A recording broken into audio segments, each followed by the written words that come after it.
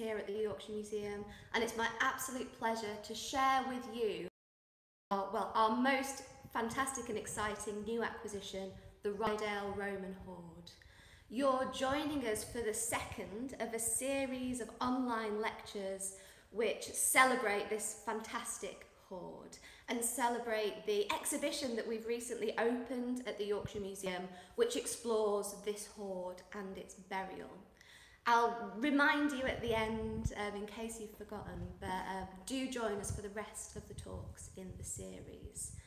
Um, but yeah, now on to the, the star of the show, the Ryedale Hoard itself. In this talk, I'm going to talk to you for about 20 minutes and then there'll be plenty of time for questions. So please do add your comments, questions and thoughts in the comments box there on YouTube and we'll get to them at the end of the session. I'm going to talk to you about the interesting story of discovery of this hoard and its interesting journey to the Yorkshire Museum. We'll then look at the objects themselves, each in turn, look at their detail, talk about how they were made, and also how they were used in Roman Yorkshire. We'll then look a little bit at the context of burial, the most mysterious part of this story, and discuss why these objects might have been buried together in a field in North Yorkshire some 1800 years ago. Right, let's talk about the discovery of this hoard. These objects were found by two metal detectorists. Their names are James Spark and Mark Didlick. They were detecting in a field near Ampleforth in the Ryedale district of North Yorkshire back in May of 2020. I think they were detecting on a sunny Sunday afternoon. James received a signal on his detector and upon investigation uncovered the first object that was found in the hoard. This beautiful horse and rider figurine, don't worry, we're going to come back and look at it in more detail later. Rather than immediately realising what he'd found and the significance and age of it, he actually put it to one side, thinking that it was a cast-lead Victorian toy of a horse and rider, a much more common metal detecting find, with some similarities to this object. However, when Mark and James looked at the object more closely later, they soon realised that it was much older, more significant and special than that. And over the subsequent day, the other four objects that make up the Ryedale hoard were discovered. They were all found in close proximity in a single field, either in the same hole or close, closely nearby.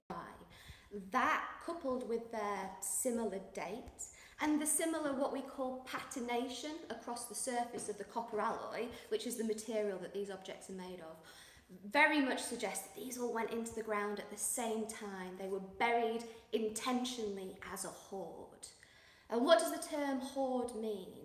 Well, hoarding is a practice that people have undertaken throughout history. In fact, here at the Yorkshire Museum, we even have a hoard of flint axe heads that dates back to the Neolithic period. And people intentionally gathered their wealth, their belongings, objects together and buried them in the ground for a number of different reasons. One of those reasons is for security. Before the invention of banks, actually burying your treasure or your um, belongings was a means of security, especially in chaotic times, perhaps during times of warfare in the region. And it's definitely the case that many of the hoards in the Yorkshire Museum's collection date from these periods of upheaval. However, hoards can also have more symbolic and religious reasons for their burial. Um, we'll talk a little bit more about some of the reasons that the Ryedale hoard may have been buried a little bit later. So as soon as they found this hoard and realised the importance of it, they recorded their finds with the Portable Antiquities Scheme. They got on the phone to their local finds liaison officer who was able to record these finds in minute detail, take fantastic photographs of them and inform the museum and other interested parties that they'd been found. The Portable Antiquities Scheme is a really, really important um, scheme that's run across England and Wales and administered by the British Museum. And its aim is to record all archaeological finds made by members of the public. So by metal detectorists primarily, but also by people who find um, objects in their garden, for instance, when they're doing a bit of gardening. And they record them, they identify what they are, how old they are, and they take detailed photographs and measurements. And all of this information is made freely available on a fantastic online website, finds.org.uk.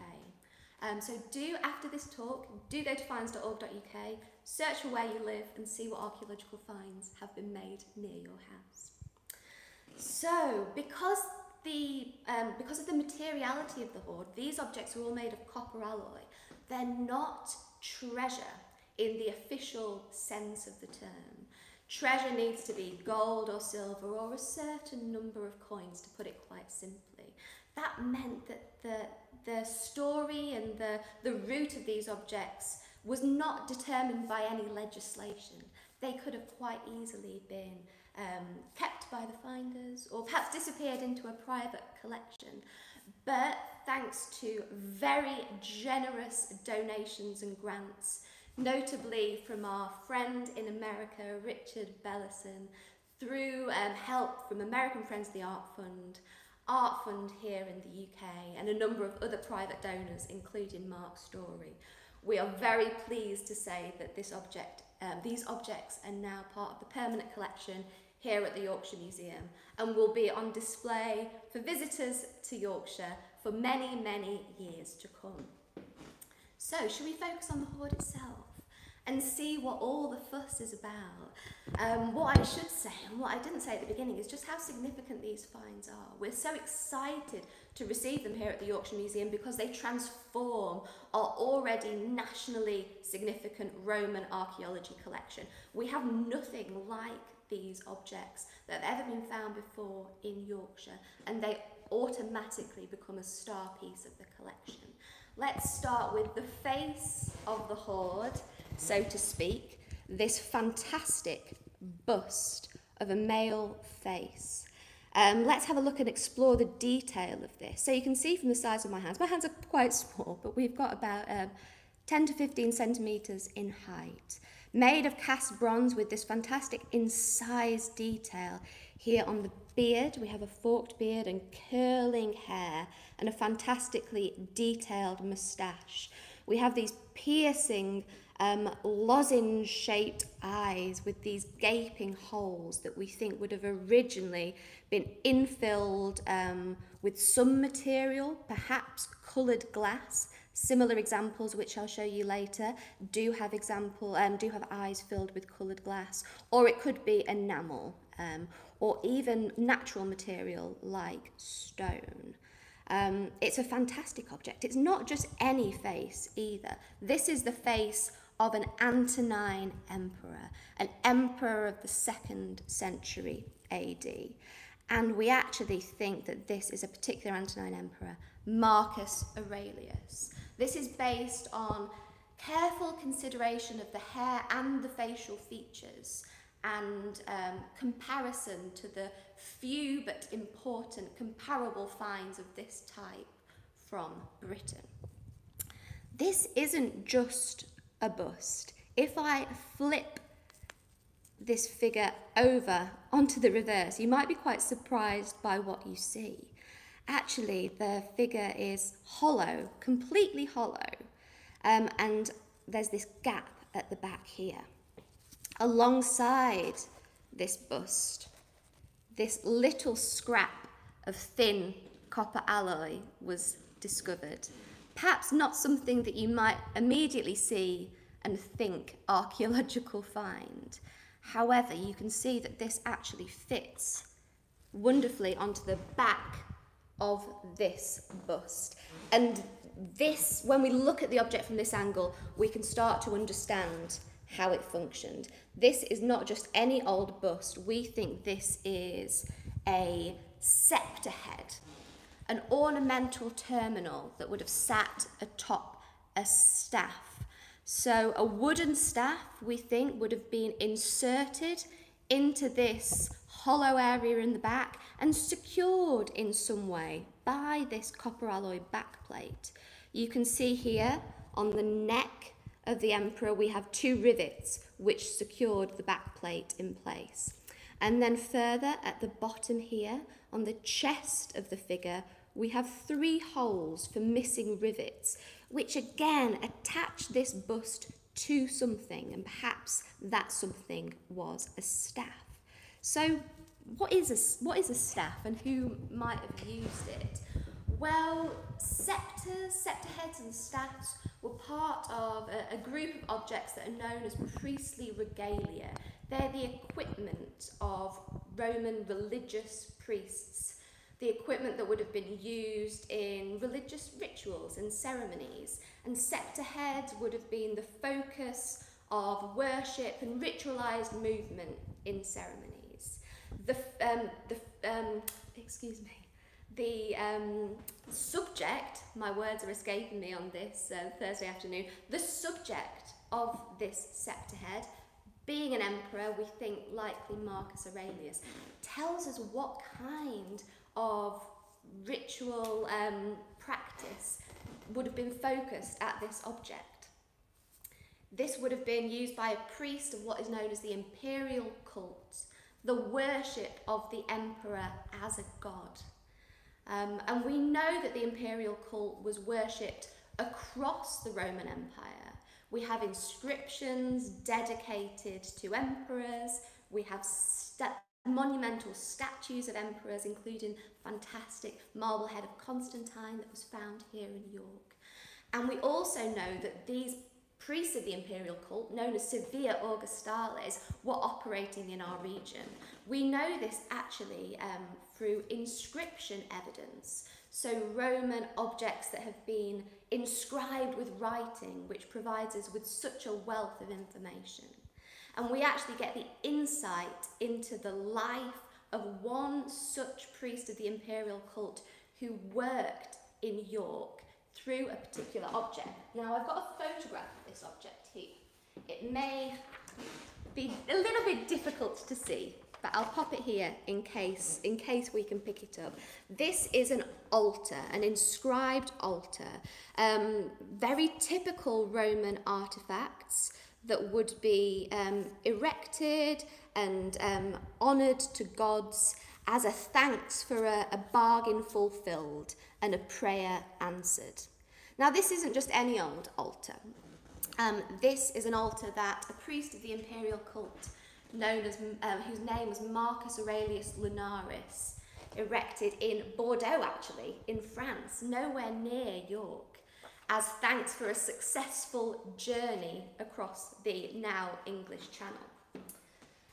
Thanks to Marcus Aurelius Lunaris providing fantastically detailed inscription on this altar, we know that he was a priest of the imperial cult operating in York and Lincoln, two very important Roman centres in the north of Britain because of the information on the um, and the inscription, notably detailing which consuls were in power in the year that the altar was put up. We can date it to the year AD 237, which I find absolutely fascinating.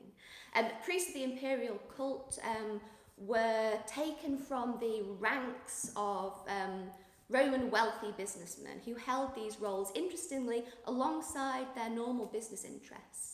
The fact that Marcus travelled from northern Britannia to Bordeaux might suggest that his um, business was in, uh, was in winemaking and transportation. So we can build up a fantastic picture of a priest of the imperial cult from that single object. But this is just such a spectacular, spectacular object that we have nothing, um, nothing to compare to it in the collection. Its subject, Marcus Aurelius, was leader of the Roman Empire from the year 16, uh, 161 to 180. We don't know whether this bust was commissioned during his lifetime.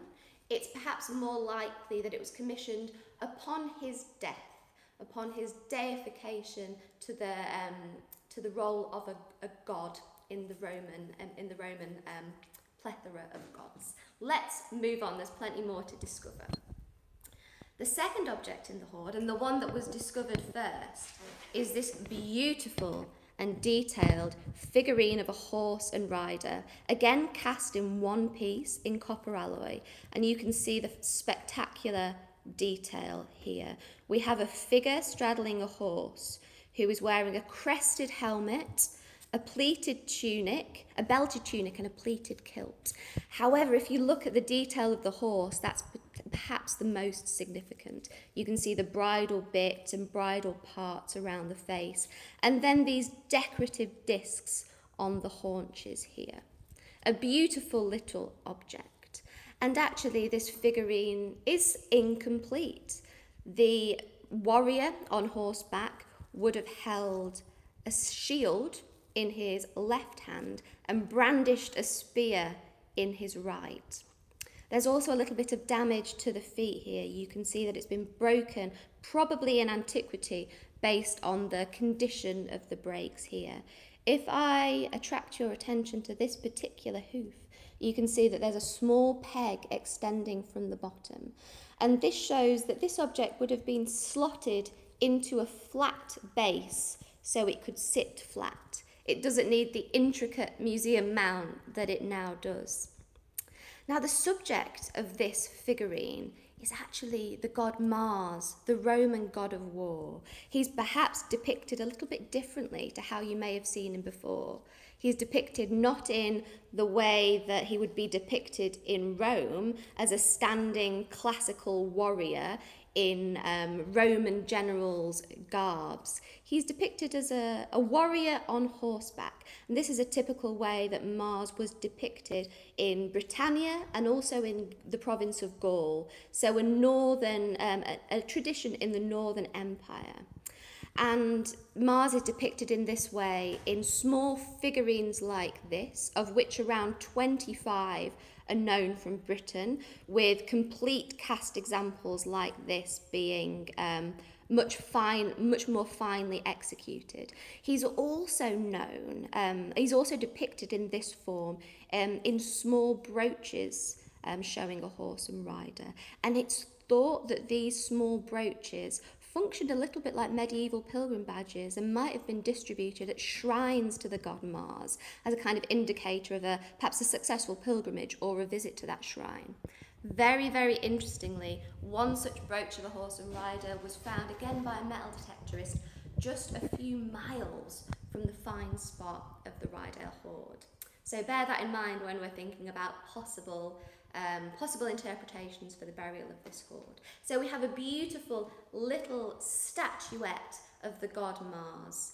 Mars was a very, very popular god in Roman Britain, popular across the empire, but popular in Roman Britain because of the high military um, level of occupation here, especially in the north of the province. We're of course very close to the frontier of the vast Roman Empire and Yorkshire and the north of England is dotted with many Roman forts and installations. There would have been many thousands of soldiers stationed here.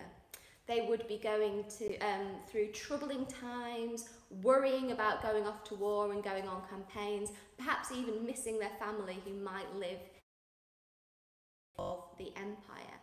Um, perhaps this little figurine was owned by one of those soldiers based and stationed here in Yorkshire. They may have prayed to this figurine to give an offering of good luck when going into battle. Mars was particularly popular with the army, of course, because he's the god of war, but also he was seen to offer protection. So we can see that there's a lot of potential symbolism in this object here. Right, moving on to our third object, we have a beautiful figurine of half a horse, the front portion of a horse. And this is actually an incomplete key. This is the handle from a key. That might make a little bit more sense if I turn it over to this to this profile here, you can see the iron stub, which is all that remains of the locking end of this key. This would have extended out to an intricate iron locking mechanism with teeth at the other end. The bronze is all that has survived. We don't know whether the iron, which is more liable to corrosion in the ground, um, rotted away in the ground, so to speak, to leave just the handle, Or perhaps this object went into the ground already having been broken. Perhaps even the breaking of this object might have been part of the ritual which culminated in the burial of this hoard. All very interesting hypotheses and questions to ask. We don't know why this object was included in the hoard. Was it just a, a nice object, um, a treasured object that somebody held dear? Was there some symbolism in the horse? It has been suggested that this key and the image of a horse might have been a stand in for an animal sacrifice in this burial. It's an interesting idea. Keys, also in the Roman period, were wrapped up with all kinds of magical and symbolic symbolism. So, again, the key may have played an interesting part in the ritual which culminated in the burial of this hoard. And finally, onto perhaps my favourite object in the hoard this plumb bob. Now, this is perhaps not the most beautiful or stunning object in the hoard, and in fact, it is a utilitarian tool. Um, they're still, plumb bobs like this in very similar form are still used today. You might have something that looks very similar in your garage. They're essentially a weight. This is quite weighty um, and it would have been suspended using these holes for a long piece of twine. Because of the shape of it and its weight, it would of course hung vertical, created a plumb line from which um, other straight lines in engineering projects um, could be levelled. Now, they were used by Roman engineers, um, well, throughout the Roman world, individually and also as part, in multiple, as part of a more complex tool called a groma. Um, and this functioned as a staff with a horizontal cross mounted to the top with four plumb bobs, one suspended from each arm of the cross. And Roman engineers would be able to use this to create straight lines across great distance. So they would use it to mark those long Roman roads forts, fortresses, and new towns. Now, as we say, this is a very functional utilitarian object. It's a tool. It's still beautiful. It's a large and fine example of a plumb bob, but it is functional. Why is it buried with these other objects which either have such a strong religious significance or may do? And really, it's the inclusion of this plumb bob in the hoard which I think hints at the possible burial of these objects. So let's move on to um, why these objects may have been buried together. They, there are a number of reasons, as we touched on, why hoards were buried in the past. Even though we've dwelt over the significance of these objects, looked at these objects in fine detail today, and treasured them in a fantastic museum display case, perhaps in the second century AD, the owner of these objects saw them as scrap bronze. There's a chance that this might be a metalworker's hoard of material which has been gathered together with the intention to melt down, reuse and recycle. Metalworkers' hoards are well attested across Roman Britain. They often number tens of vessels. So it's a, um, it's a practice with lots of comparable examples. And the fact that these four objects are quite different, they, it's not immediately obvious why they were brought together, perhaps hints at a random collection of scrap bronze. Difficult for our um, modern minds to perhaps comprehend melting down Marcus Aurelius today. However, as we've explored the religious nature, or the likely religious nature of some of these objects, hints at a more votive deposition for the hoard.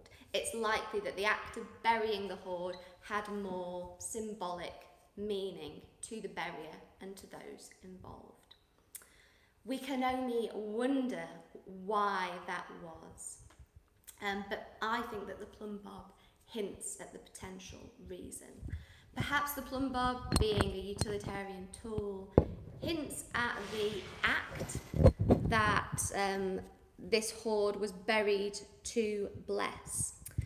And plumb bobs were not just used for the building of roads and buildings, um, towns and infrastructure. They would also be used as part of land management, the rearranging of estates, perhaps the reorganisation of field systems, the establishment of your land around your new villa, perhaps. And if we think a little bit about where these objects were found, that might start to shed some light on the type of activity that could be happening in the second century in Yorkshire. So they were found near Ampleforth, um, which is in the Ryedale district of North Yorkshire. It's about 20 miles north of York, roughly. It's an area of beautiful countryside today, kind of straddling the Howardian Hills to the south, the North York Moors to the north. And in the Roman period, again, it was an, a rural area. The nearest settlement was the Roman town of Aldborough, which again is about 20 kilometres away to the southwest. However, what we do have in this area is likely roads extending from the main roads north to south and also a number of villas. So the fine spot of the hoard is surrounded by villa complexes that were developed in the Roman period. Each would have been not just a, a wealthy um, farmhouse, or sometimes we imagine villas, but working industrial and agricultural estates that would have had large um, areas of land surrounding them. In the Roman period, many aspects of work, business, and everyday life um, had to be religiously and ritually sanctioned including the establishment of boundaries, um, the building of, well, any kind of building project, roads or towns, they would have to be ritually sanctioned. And it might be that this hoard was buried um, to commemorate, to give blessing to an act of land management in which the plumb bob was used. However, that's just one possibility, and we encourage visitors to the Yorkshire Museum when you come to see this hoard to explore the objects in the wider collection, hear about the different reasons why the Ryedale Roman hoard may have been buried, and come to your own conclusion. We're coming towards the end, um, the end of the talk now, so I'm going to encourage you to add your comments and your questions into the comments box on YouTube and we can um, we can have a little bit of a discussion. I'd love to hear what you think of these objects, perhaps which is your favourite, and crucially, I'd love to hear why you think these might have been buried. Were they buried by perhaps that priest of the imperial cult who probably used this object in rituals that honoured the emperor here in North Yorkshire, perhaps in Eboracum, Roman York itself? Maybe you think the hoard was buried by the soldier who may have owned this figurine of Mars. Perhaps it was buried um, as an offering to the god Mars in hope of protection before marching off on campaign to fight um, barbarians beyond the wall. Or perhaps the idea that this is a collection of scrap bronze has attracted you. Maybe these were the lost materials of a bronze smith and they've very luckily missed out on being melted down. Or perhaps they were um, partly the tools of an engineer who ritually sanctioned um, an act of land management in Yorkshire. Incredibly intriguing object. Please do add your comments and questions if you have them. I'll flag that our brand new exhibition, The Ryedale Hoard, A Roman Mystery, is now open at the Yorkshire Museum. We were absolutely thrilled to welcome guests back to the Yorkshire Museum in April and you can come and see our fantastic new exhibition. It's on until the end of March of next year, so absolutely plenty of time to come and see these fantastic objects. In the exhibition you can expect to of course see the Ryedale Hoard itself and hear about its discovery through um, the stories of the finders, James and Mark themselves. We're also utilising our fantastic Roman collections um, from York and North Yorkshire to explore each of these objects in more detail. But for now, I'd like to thank you for joining us this afternoon. Um, do come to the Yorkshire Museum, do see these objects for yourself, and also join us for our wider series of talks and lectures. You can find more details of these and sign up to them online on our website. We've got one per month. Um, it's a mix of external expert lectures and then a deep dive and an up close look at objects from the exhibition. Thank you very much.